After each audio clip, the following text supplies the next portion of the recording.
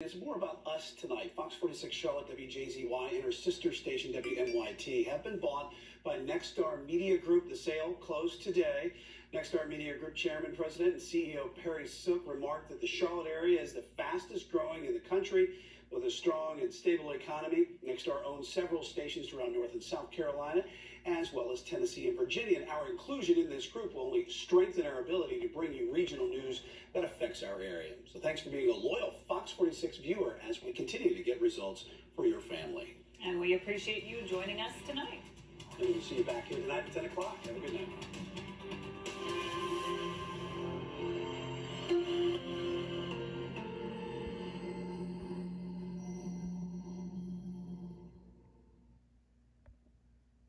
The Big Bang Gang would like